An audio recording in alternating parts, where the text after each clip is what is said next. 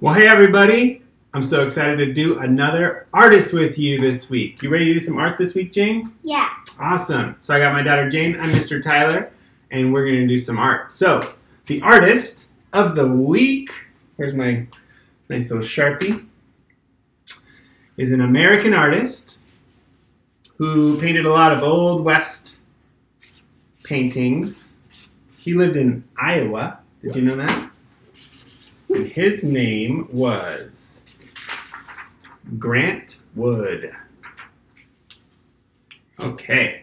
So Grant Wood uh, used a lot of landscapes, painted simple lines, and used textures to draw the hills and trees and farmland and kind of the old west that he was in uh, back in Iowa. So let's practice drawing some landscape this week. Okay. There's actually a couple, there's a lot of different techniques and uh, several different steps we're going to be working on. So you should have your big piece of manila paper right here. You're going to need a strip of blue paper that you should have. We'll, use that later, so put that off to the side. Another thing we're going to use later at the, at the, the last section is some paint. So we have yellow, green, and brown paint, just a little dime-sized dot on a piece of paper, uh, on a paper plate for you. We'll keep that off to the side. You're also going to need a sponge cut into a nice, somewhat of a round shape. So what I did, uh, maybe get your parents to help you with this. I got just a nice normal sponge. I cut it into a square, about an inch by an inch square, and then I just took my scissors and kind of rounded off the edges as best I could so that I had a nice little circle sponge. So we're going to need those, but later. So you can put that on your paper plate. Don't get paint on it just yet. Hmm. We're going to need some glue. We're going to need three colored crayons. So we need brown, green, and yellow. Uh, and you probably want crayons without the paper on them because for this, most of the painting we're going to do is on the side of the crayon. So we're going to be using the side of the crayon to paint this landscape uh, not the tip of the crayon. So you want a crayon that you can take apart, maybe even break in half if you need uh, something like that. You're going to need some scissors. You're going to want your learning page that we did in the previous video. And you're going to need these fun textures. We're going to play with some textures later. So I'll put it on the screen here, but we have this little like net texture. We have this cardboard with this nice bumpy texture here. And we're going to use those later as well. Am I missing anything? I think that's everything we need. Yeah. So that feels like a lot, but let's jump in. So Mm -hmm. we're going to start with our landscape, and you're just going to pick either your green or your brown crayon, right? One of your darker crayons. And let's start by making the horizon line. So right near the top, go down about two or three fingers off on the side of your page. There, you can see Jane doing it on her screen. And put just a little dot right on the edge of your paper right there. Two or three fingers down. Perfect.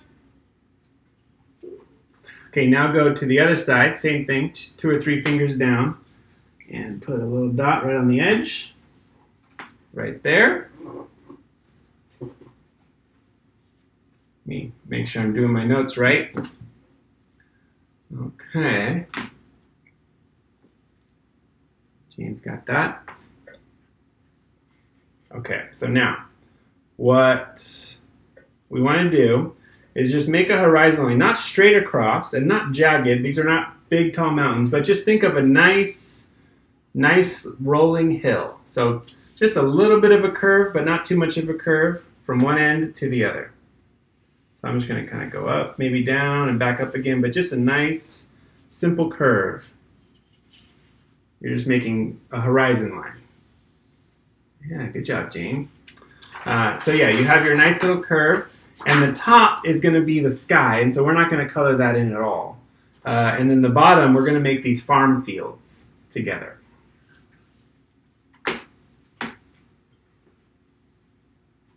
Okay, so now uh, so Jane, find, try to, just with your finger, find the middle of, just guess, right around the middle of your line here. Yeah? And then from that line, maybe go over like four fingers, four fingers from the middle. Yeah. Just like that. And then put a little dot right on the line about four fingers from the middle.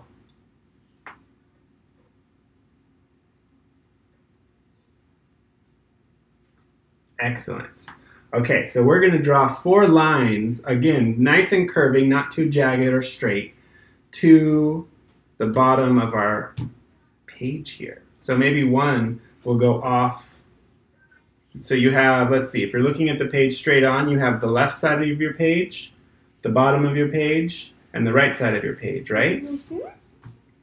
So I want us to take this and draw a nice curving line that goes from that dot to the left side of your page and just right to the edge.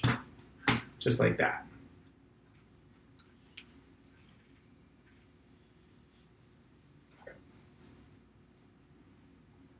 Very good. Okay. And now let's draw another one from that dot. Same dot, start there. Nice curving line, kind of down to the right side of your page, right near the corner, but not right in the corner. Something like that. Yeah, there we go. So you should have something like this. What we're doing here is we're drawing a horizon line, right? And so if we're standing in this field in the foreground, you're looking back and everything is fading into one point. It looks like everything's getting smaller as it goes back into the distance, right? Mm, yeah. Yeah. And I think those are all the lines that we need. You know what? Actually, let's draw one, two, three, four. We want four lines total. So we've done two to the right and to the left. Let's do two more down to the bottom of our page. So start at the same line and do one down here and one down there. Yeah, there you go. Good. So you see how we did that? So we drew from the same dot four lines going to different parts of the bottom of our page. There, like that. Are you confused yet? No. okay, so now we're going to color in these different colors. So we have, I'm going to actually break mine in parts. So we have yellow, green, and brown. Right? So let's alternate colors, choose a color, and just lightly shade in the whole section. So these are like four, one, two, three, four, I guess five different fields. Uh, if you're looking out on a big landscape, you have five different fields fading into one point in the background. So take, let's start maybe with brown or whichever color. You can leave one of your colors blank too. Just let it be the color of the paper. But let's pick uh, and then just alternate. So I'm going to take the side of my side of my crayon here and just kind of shade in the background like that. See how I'm doing that? I'm just picking one of my, one section. Try not to go into the other section. Yeah, you might need to hold the paper down with your other page, but just kind of color it in lightly. Yeah, just like that. That's great. And then do the same thing, pick up, you know, your, your yellow crayon or another one and do that in the next section. So each section should have its own color.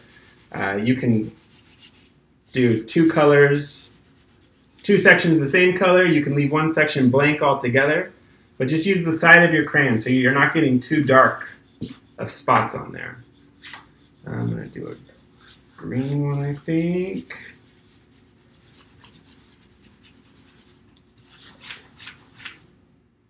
And if you find that your crayon's just too big, maybe breaking it in half will help you get to those smaller parts.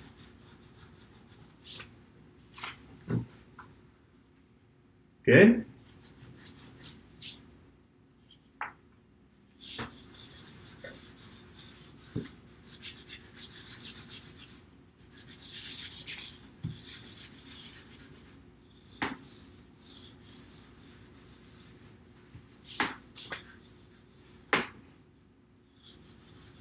Very nice. So you can see while Jane's working on hers, I colored one brown, yellow, green. I left one blank and I colored it yellow.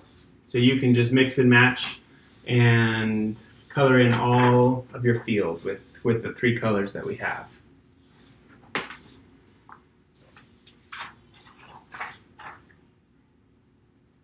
Nice.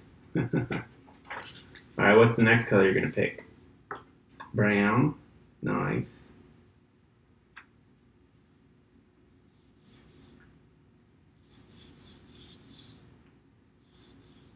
Ooh, I like your brown. My brown's really dark. Your My brown is. So light. Yeah, I like how light yours is. Me too. Yours looks black. It does kind of look black. Maybe I picked the wrong crayon. Yeah. It's probably All right, so finish up. yeah. it looks black. Finish yours. I'm going to start explaining. The next thing we're going to do is add some fun texture to this. So we're going to take, uh, unclip if they're clipped together. So you have two different textures to work with here. So here's what we're going to do. Oops. I have a little paper clip stuck on mine. That's okay. So while Jane's finishing up, I'm going to start with the cardboard and use the really bumpy side. And I'm going to put it underneath my paper and pick one of them. So I'm to pick I'm to pick my yellow one. And then what you want to do is pick a color that's not the same color that's in the background. So I picked yellow, so I'm going to pick up my green one. And here's what we want to do. Kind of pos- position it under here, hold it with my other hand so that the paper doesn't move. And then still with the side of my crayon, I'm just going to start coloring over my paper. But just on, yeah, isn't that cool? Just on the field that I did there, you see? Yeah, so here, I'll show you over here. I made some nice, it looks like rows of corn or something, right? Yeah. Yeah, so you want to try it with this one? So you try one with this one. Pick pick a field. You don't have to pick the same one as me. You can pick the green or something. Uh, but just pick a different color crayon than the one that you already put in there. So I'm going to pick, uh, so now I'm going to take my net and I'm going to put that under another one.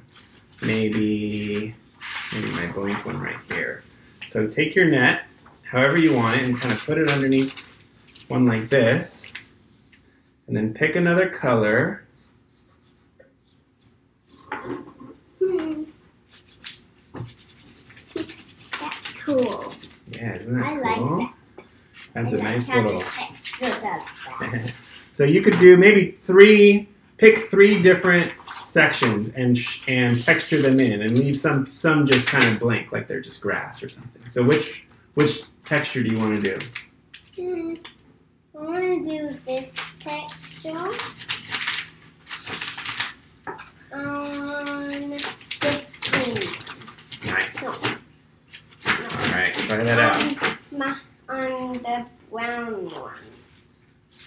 I think I'll do green on top of the brown. Mm-hmm. Let me see you do it. Ooh, that's cool. I like this texture.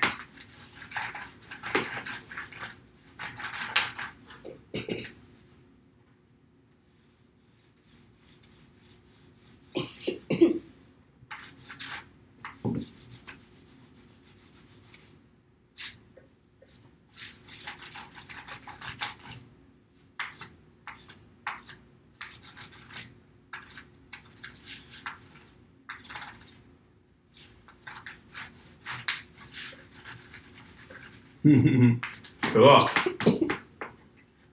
All right, do you want to do one with the the net? Yeah. I think I'll do this green one. Okay.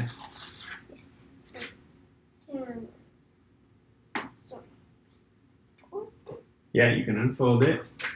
You can leave it and then put it underneath. hmm, that's good. And then this one, you, you kind of have to push down a little harder on this one, but what color are you going to pick for that? I think I'll do brown. Okay.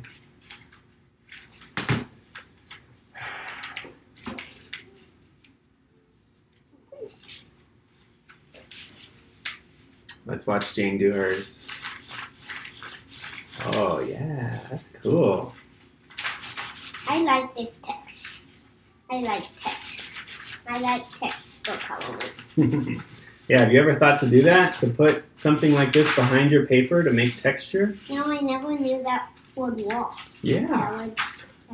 What a fun uh, thing to learn how to do. If you had, if we had other textures, you could do all sorts of things, huh?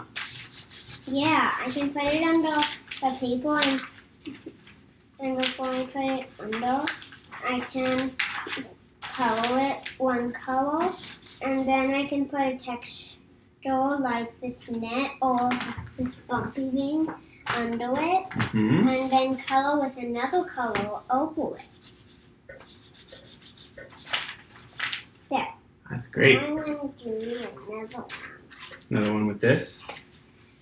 Mm, These are the only two textures we have. You could do it running the other direction. So you made your lines going horizontal. You can make them kind of at an at an angle even, going back toward the the center. doing this. Yeah, you could do it that way. On on maybe this one next to it. I think I'll do this one. Okay. I know the green.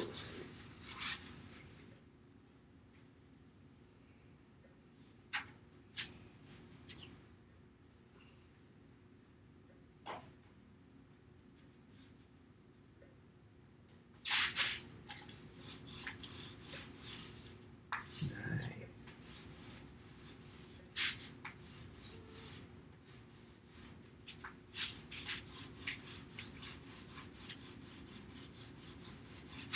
Great. Okay, let's add a, a little bit more texture this time. Uh, maybe some some plants or some actual crops, things like that. So take one of your crayons, like your brown or your green, and pick one, either one that you already put texture on or a different one, and you can just add like maybe some little stalks of corn. Really, really simple, like just three little lines going up. But you could do like watch this, Jane. Now, when you do this, remember we're in we're in the horizon, so the front thing should be bigger than the, the back things, right? Because we're looking back into the distance. So I'm going to show you here. If I if I just did some corn like this, do just like a repeating pattern. So if you pick, if you do something like that, Use that to add less detail to it as they get small. yeah, I'm making them smaller going backwards. So you see what I did there? So here I'll show you on mine. I like I made that. bigger in the back, getting That's smaller. like. Here's a, another another cool thing. You could add like uh, I don't, I don't, like bushes, like little swirly bushes, right? You could do like this. So I could do a big swirl. Um,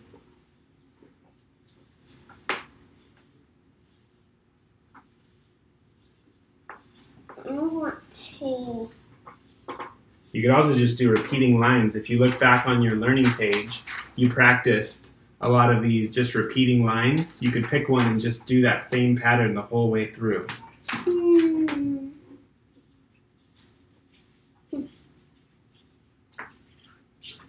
So pick a repeating pattern and just do that all the way through. Hmm.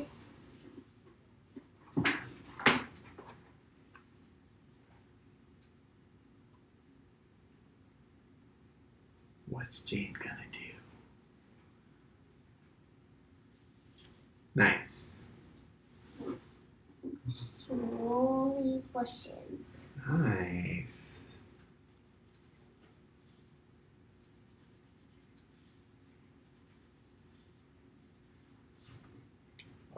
Nice. You're getting smaller. Like it's farther away.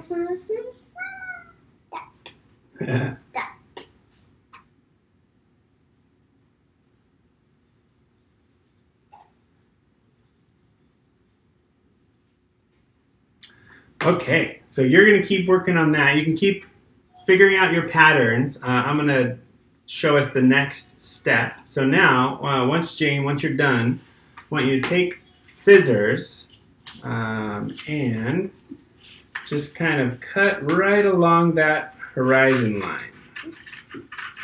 So you're going to cut out the sky, basically.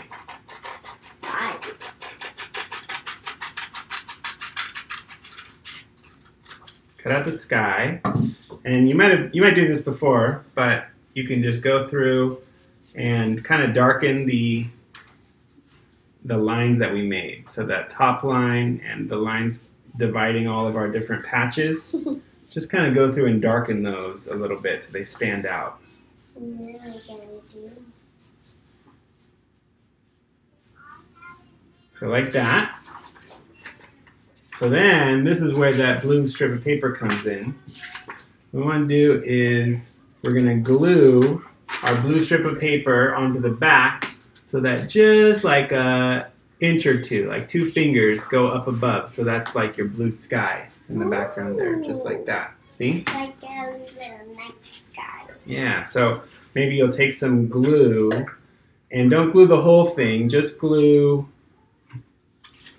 like right on the, the that top strip and just maybe a little bit going down because this this piece of blue paper is not that big. So you just want a little bit right on the horizon line, right?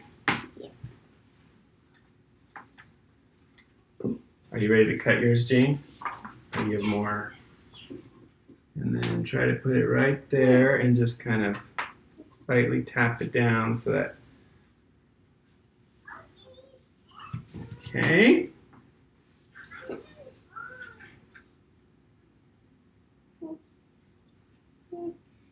All right, and then when Jane gets hers cut and glued, we'll show you the final piece, which is making a tree.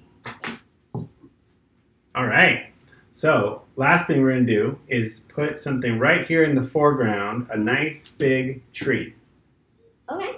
All right, so now take your, soon. So first let's draw a trunk. So now we're going to use the tip of our crayon. Use the brown and the green crayon. Uh, kind of mix them, mix and match. But start, build, draw a trunk maybe right, make the trunk right at the, not like two fingers up from the bottom in one of these big fields right here. You can eat, so I'm going to have it like right, not right in the center, but kind of draw, your trunk is going to have a little wobbly bottom, like it's the the roots going into the ground, right? Kind of like that. And then kind of it starts big and it goes up and it gets smaller and smaller. And do it kind of dark so that it covers all the background. And go up, not too hot, not not all the way, kind of right up to where where I put it right here. So you can see I started about two fingers up and got smaller and smaller and it stopped right about three fourths of the page up. And then just kind of with straight lines up and down, color it in with a little brown. Maybe come back with a little green, a little more brown. Just give it a little texture like that. So I did mine like that. There you go.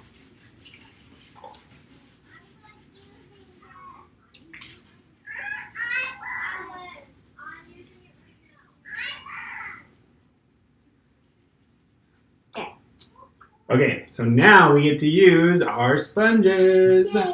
Okay, I'm gonna show you. I'm gonna show you here. So take your sponge in your hand and find the circle side. Make a little circle. Here's what we want to do. We're gonna we're gonna have, mix all three colors together. It's a little tricky. So what I want us to do is put the whole thing in the green. Here, you wait, Jane. Put the whole thing in the green, like that. Maybe even just dab a little bit off so it's not too, you don't want it too wet, but just covered in green. And then just the tip in yellow, right like that. And the other tip, so top yellow, bottom brown. So can you see that? And then here's what we're going to do. The yellow is like the, the sun gleaming down on the top of the tree. The brown is like the shadow on the bottom of the leaves. And so if I always want my yellow to be facing up, right? Yellow's up, brown's down. I'm going to put it straight down and then just do a little twist, not all the way around. kind of like that, like a half twist. Cool. And then I'm going to do another one just right next to it, half twist, like that. Mm, See how it's making it kind of shadowy, like that. that's a good way to make it. Yeah. So Jane, you try that now. So put so green first, and you may need to reapply. So I'm going to put you know, a little green. You don't need to worry about washing this sponge or anything. little yellow on top, little brown on bottom. And then just keep making circles like that. Go down. You can go some down, some up. But what you're going to want is make like a nice round tree. Uh, and you can make it go kind of big, like kind of the size of a big, maybe both fists together. And a nice big tree with the yellow always on the top, brown always on the bottom. Makes nice little shades, and you can always add a little bit more.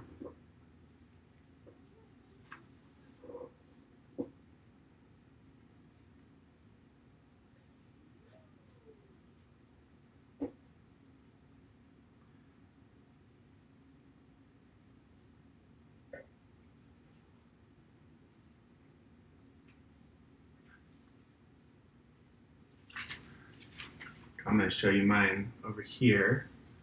You can kind of see all my leaves coming out. The yellow sunlight hitting the leaves and the shadow on the bottom. Let's watch Jane do hers. Move yours into the there. Ooh, that's cool, Jane. Yeah. And don't worry if there's there's open space, but you can always just add a little bit more green into your sponge. Yeah. There you go. Yellow on top. Yeah. Nice. Let's see you do it. Very cool. Isn't that fun? Yeah.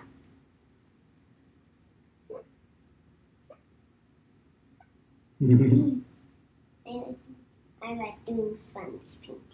Yeah, this is fun. We did a lot of fun things. We did texture, we did landscape, we learned about the horizon, how things go further back and get smaller. Mm, we did a little cutting and pasting. We did sponge painting. We did a little bit of everything in this one, huh? What was your favorite part? The texture? Yeah. Yeah, you like that part. That was pretty fun. Well, hope you're having a great time. Uh, and definitely show your show your painting to your class this week, and uh, have fun learning about Grant Wood, He was a great, famous artist from America who did did landscaping.